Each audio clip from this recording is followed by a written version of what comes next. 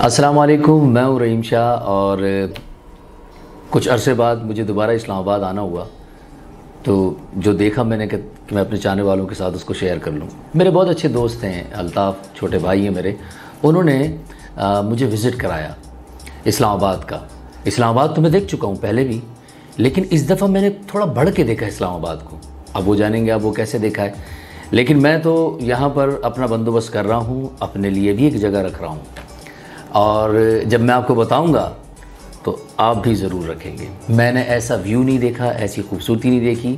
اگر آپ میری آنکھ سے دیکھیں گے تو آپ کو ایسا لگے گا جیسے کہ جنت کا کوئی ٹکڑا ہو یہ میں اس کو، اس نام سے جانتا ہوں جے سیون امپوریم آپ سمجھ گئے ہوں گے امپوریم کا مطلب کیا ہے؟ جس میں میرے خوابوں کی تعبیر تو مجھے مل گئی ہے۔ وہ بھی میرے اپنے ہی ملک کیپٹل کے اندر، اسلام آباد کے اندر۔ اور خوبصورتی وہ آپ جانتے ہیں کہ کیسی ہے خوبصورتی۔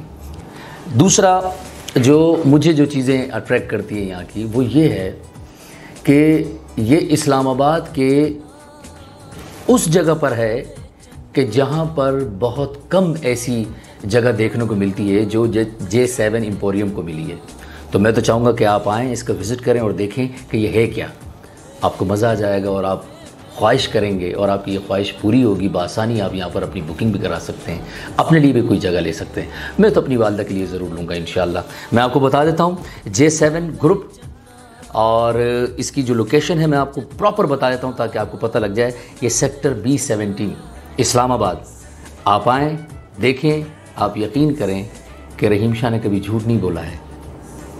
آپ کو یقین آئے گا اور ایسا ہی ہوگا جیسا میں کہہ رہا ہوں۔ اب میں آپ سے اجازت چاہتا ہوں اب وہیں ملیں گے اب جے سیون امپوریم میں۔